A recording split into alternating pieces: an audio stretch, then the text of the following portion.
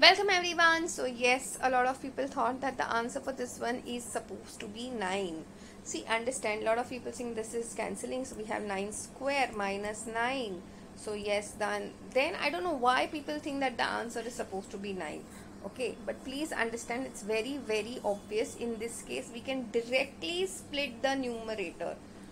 9 cube minus 9 and 9 square minus 9.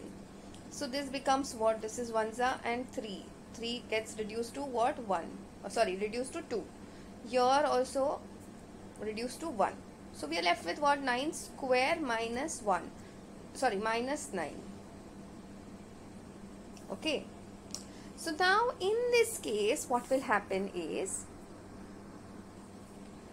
we can say 9 square is what? 81 minus 9 so answer for this question is supposed to be 72 this is one way of doing. The other way of doing would have been 9 square. Take 9 square common. So you're just left with what? 9 over here minus 1 upon 9.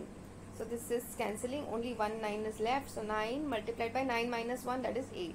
So that also gets you 72. You can pick any of the method which suits you.